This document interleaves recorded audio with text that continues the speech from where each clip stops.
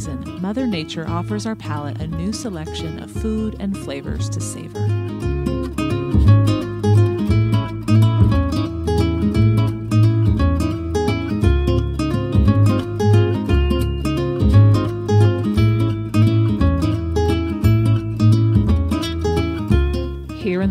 Luxurious Kitchen, discover simple ways to dance effortlessly with each season and enjoy stepping into your kitchen, knowing no matter what you find at the market.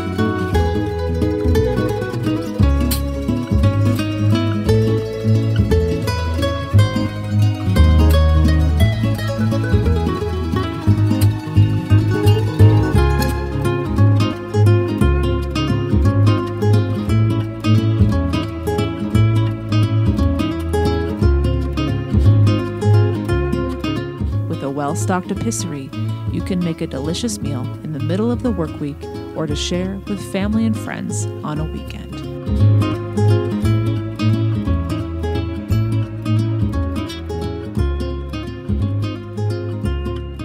Let's get started. Welcome to the Simply Luxurious Kitchen. And today, for me, when I get home from work, I often am exhausted in a very good way, but mentally I'm exhausted and I want a good meal. But I don't want to have to make a complicated meal. So today what we're going to be doing is cooking one of my favorites with salmon and we're also going to be putting it on top of some French uh, French lentils and then we have to have dessert. I mean especially on those days you want something sweet at the end just enjoy with a cup of tea but you don't want to have a ton of sugar just really good flavor. This is my go-to very very simple apple tart. All right, so we're gonna get started with the lentils because they're gonna take about 20-25 minutes to simmer but I want to flavor them first. So what I have here is what was available to me in my kitchen when I got home. I did not go to the grocery store. I looked in here and I said, what do you have to flavor? And I had shallots. I did not have onions. You could easily put onions in here. And that's the one thing I want to try to uh, inspire you or encourage you to do is look around and see what you do have because you might be surprised at what you have could actually work just as well, if not better than what the recipe calls for. So in this case, I want to add that subtle onion flavor with the shallot. There, you're gonna get obviously softer flavor with the shallot versus that onion. So I'm just slicing up my shallot. It doesn't have to be too fine because it's gonna be simmering, okay? And I've turned on my pan to about medium heat medium low. It's about a four on the scale of a 10, okay? So I'm just gonna put some olive oil, not a lot. All right, and you want a large flat skillet. Okay, oops, I have a few more that needs to be sliced up. But again, if you have an onion, go for it, all right? And lentils are something that provide a lot of protein. I know we're gonna be putting protein with it with our salmon, um, but they provide a lot of protein and they can be enjoyed on their own as well. We um, will make them with a bunch of different vegetables, not a bunch of different, just two, shallots and carrots. All right. So you just want these to get nearly translucent. It's about three to four minutes. And while we're waiting for that, I'm going to measure out our lentils. There are a bunch of different lentils. These are French lentils. Okay. And we're going to do a half a cup. Half a cup's a good, healthy one portion, maybe two small portions. All right, and um, usually I'll take my dinner the night before and I'll take it to lunch the next day at work. I have my lentils. Okay, I have two and a half cups of water, which will go on top of those lentils once we add them. Oh, we're almost done. All right, these are ready. So what we're gonna do is add our water, add our lentils. We're gonna bring this to a boil. Okay, that out of the way. We're also gonna add a good helping of salt. And this is coarse sea salt. This is fine sea salt for something else we're gonna do next. And while that's coming to a boil, we're going to cut, we're going to cut about three carrots, okay? And you want them as small as you want to eat them. So I like to cut mine in half so that they're easier to chop partly. And you've already, I've already peeled them here. That's up to you as well. All right, break them so they're sitting flat. And now we'll chop them. I like them a, a small dice.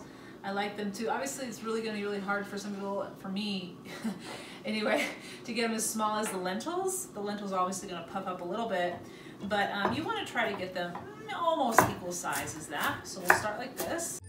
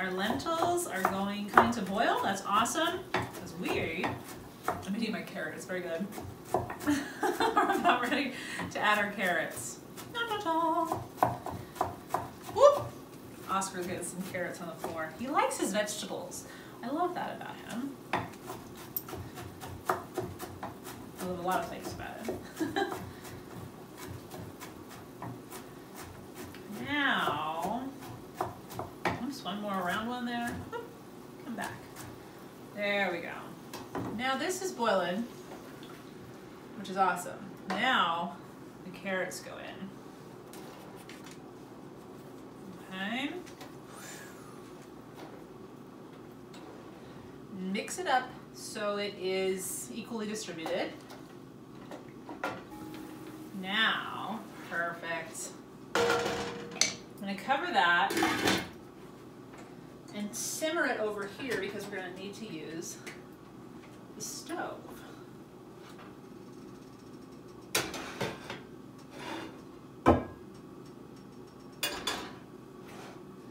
So that's to simmer for about 20 minutes. We'll see what it looks like after that. All right, so now we're to get ready to make our salmon.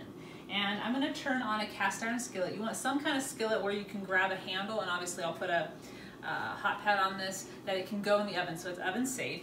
So I'm gonna put this um, at about a medium to medium high heat, all right? And while we're getting um, that heated up, we wanna make the, the moisture that's gonna go on top of the salmon to keep the moisture in while it's cooking, okay? So I put about tablespoon per salmon fillet of mayonnaise. I take a little bit of Dijon mustard, about a teaspoon per, per uh, salmon fillet. Come on off. There we go. And the Dijon that you choose is up to you. You're gonna definitely taste it. Um, so definitely take, choose something like wine that you really like to eat. Okay. All right, I'm gonna add a little bit of salt. About a quarter of a teaspoon. Okay, and even some pepper.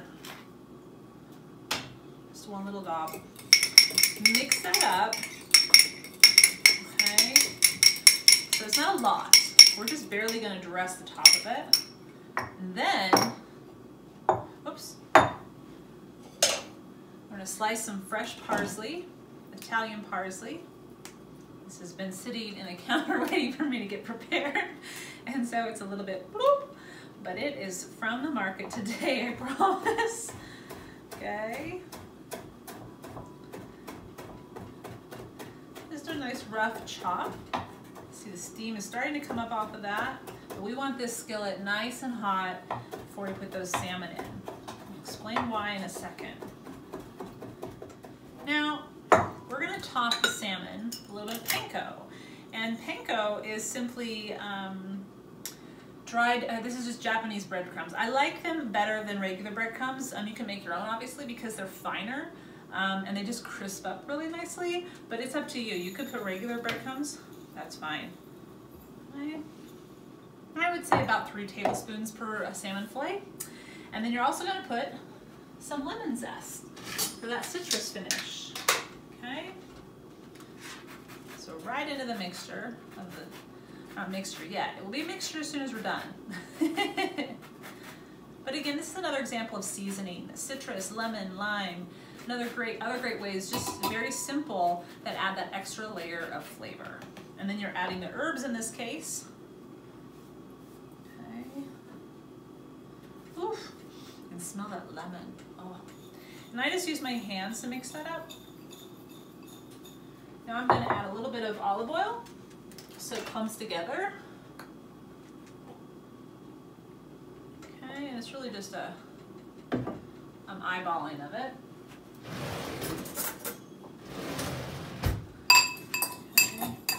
Because you're just making the crumble, a little bit more. Okay, again, I'm making two fillets. Probably about a tablespoon of olive oil for two fillets. Perfect. See how we got a little bit of lemon, the yellow, a little bit of the green, and then the breadcrumbs. Now, we're gonna dress our salmon. So I want to first cut them into a fillet. And I always usually choose either um, sockeye salmon, which is what this is, king salmon, which is for very special occasions. It's delicious and nice and plump and fatty and oh, um, you want to make sure all the bones are out, and I did that before.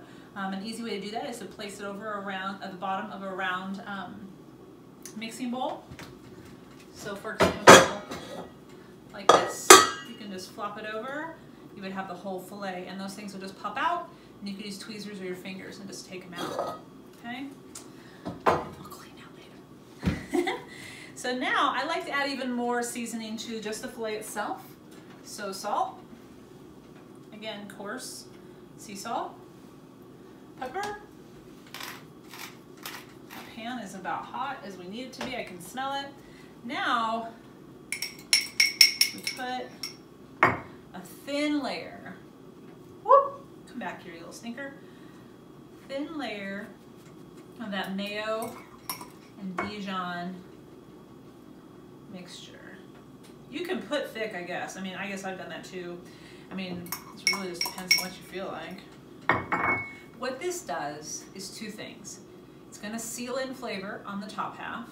Okay, we're gonna seal in flavor in a second on the bottom half by searing it. And it also allows the crumble to stick. Like frosting a cake, except for it's salmon, I love it. and again, it's that and one more layer of flavor. All right, the easiest way to do this it depends on what you want to do. If you don't mind being splattered, it's easier to do it and it's in the pan, but we're not going to get splattered today. So we're just going to take this and the board's going to get nice and crumbly, which is fantastic. Yeah, you always pick up the extras, husk. He's right here. I don't know if you can see him. So just put him on, just like that. Yeah. Now, this is actually um, vegetable oil. Um, you can use canola oil if you like. You want an oil that can handle a high heat um, tolerance. And so we're going to put them right in here for just two to three minutes to sear in the flavor. They're not going to get cooked all the way through. I'm going to put my oven at 425. Okay? And as soon as they're done cooking in that oil, we're gonna pop them in the oven for five to seven minutes. Now I wanna give my oven a second to heat up and then we'll get started here. All right guys, so the oven is warmed up, so we're gonna cook the salmon, sear it, just sear it for two to three minutes. Now it's gonna spark and popple a little bit, so just hang in there with me. Now I've got a thin layer of that oil. It's not just um, a drizzle. It's a good half a cup of oil. I'll show you. All right, two minutes. And then it'll go in the oven for seven to eight minutes. Literally seven to eight and it's it'll be ready to eat. You still want it nice and tender in the middle. You want it cooked, but you don't want it solid through, and this will be that nice and juicy, not juicy, but has a lot of moisture and it's very tender still. and check on our lentils. It's been about 20, 25 minutes. And they're getting there. They're soaking up that moisture. I'll show you a peek.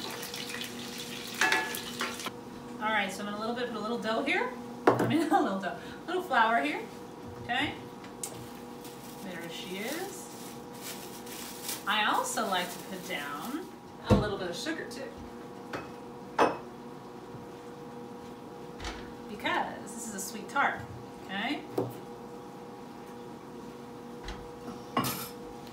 We're just gonna roll it out flat. Nothing fancy. This is gonna be a very rustic apple tart, a very simple apple tart. This is not gonna be anything you're gonna have to worry about crumping or crimping. Whoop, come on, it is gonna be nice and buttery and oh, it's gonna be so good. So don't worry about the roundness. You just wanna get it thin enough that you can get the crispiness out. And I put a lot of butter in this one. I was excited. so I put, what I do is I put a half a cup of butter and then a cup of flour. This is gonna be a nice and crispy crumbly tart.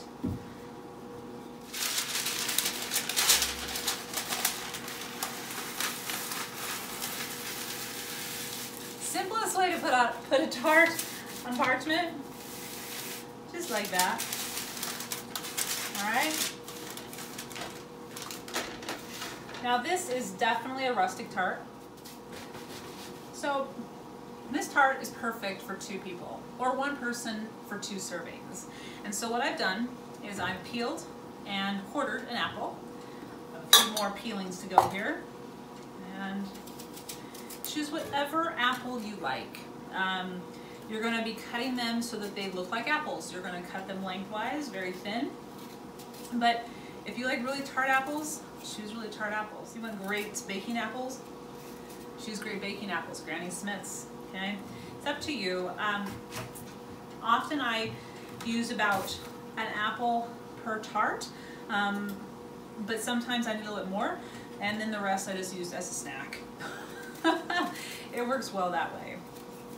So we'll do a, a full apple and a quarter, and the rest will be my snack for the afternoon tomorrow. All right. Okay. So now, I'm just gonna cut them lengthwise, nice, narrow peels, or nice narrow cuts. Ooh, my lentils are about done.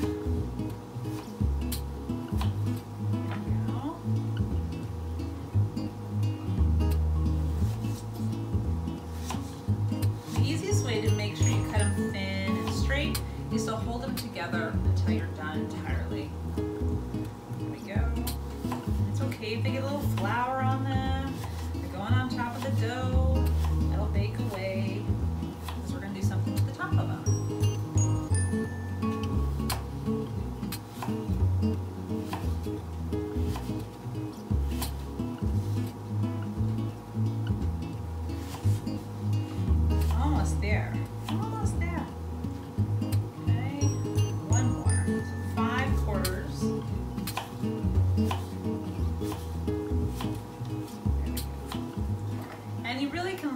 however you would like.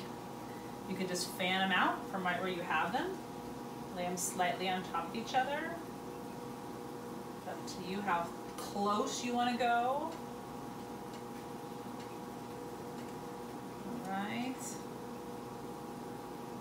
Usually go lengthwise, but it really doesn't matter. If you want to go horizontally across, go for it. This is your tart in the middle of the week.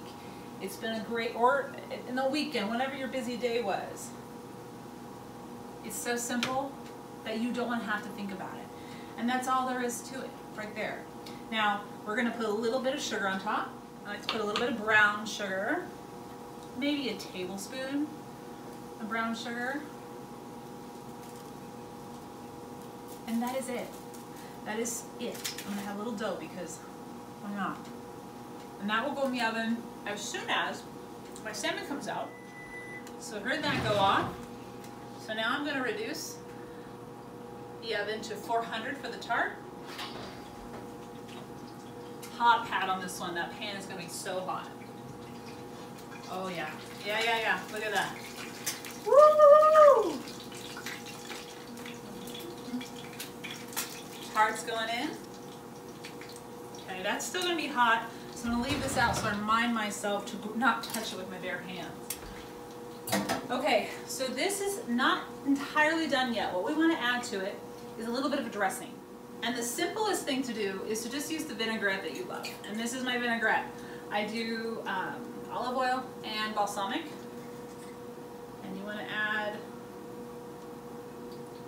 ooh, come on out, about two tablespoons. Okay. You're also gonna add a little bit of Dijon mustard. Yes, yes, yes. About a good tablespoon. And we're doing creme fraiche because why not do creme fraiche? You do not have to do creme fraiche. I have about three tablespoons of creme fraiche. Okay, a little bit of salt, a little bit of pepper, and mix that up. Oh yeah. The creaminess of the creme fraiche is what it's going to add. It's going to make it a little bit creamier to that effect, for that effect and for that taste. The flavor is going to come from the vinaigrette, the Dijon, and from the aromatics from the shallot, and then the sweetness, the subtle, soft sweetness of the carrots. There we go, guys. So done. All right. Now let's dress this up. So I want the salmon to drain a little bit of that oil it's been cooking in. So we're just to put them on a paper towel. Not for too long because you want them warm still. Okay. okay. Clean this up and I'll be right back. All right, so let's dish these up. All right, so we have our lentils. And again, enough for two servings about. I like to make a bed of them. out there. There we go. Spatula.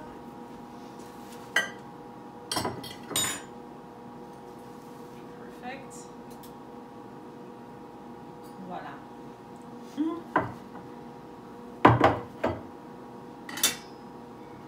Something very simple and very delicious. You have your proteins and you have a fish that has is full of health benefits. That's the thing about knowing where you live and what's available to you. Here in Oregon, I eat salmon quite often. Um, like I was mentioning before, this is sockeye salmon, and it's you, you don't even have to do it this fancy. And you could just put salt and pepper, a little bit of butter, and pan fry it, and it's good to go. Once you've cooked it for about five minutes on the stove, you're done. Um, so it, this is just one way to add a little more flavor with that mayo and mustard mix, a little bit of panko and parsley and lemon, and then you put it on top of these this bed of lentils. Oh my gosh, let's take a bite.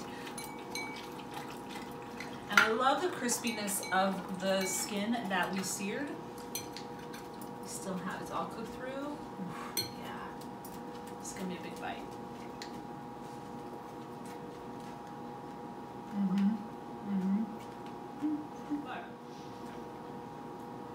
Again, you have the crunchiness on top. You have the gentleness in the middle, very tender meat. And then you have, it's almost like a sandwich of crunchiness, which is what I like. And then the lentils. Mm. They just melt in your mouth. And then that creme fraiche is like the, the butter, that silkiness. It brings it all together. And the carrots are soft and tender. Mm. Very good. Good. Now for dessert. While we wait for the apple tart to cook, I want to share with you guys something. The thing that, that what I love about this meal is that we're making apple tart. It's fall, and it, there's something about cooking and baking with the seasons. And that has to do with knowing what vegetables, as we talked about before, and what fruits to use. But I had the opportunity this summer to go to the largest vegetable garden or potager um, in France, and it was at Villandry, Chateau. and I would love to share, share a video that I have made with you um, during my time there. And it's interesting to note that they plant the garden two different times throughout the year. They have the early spring um, through early summer, and then they plant it again um, around May, June for the late June into October um, season. So we're in the second season. There'll be a link on the show notes for you to check out more, but take a look at this video of Le Jardin des Villandries.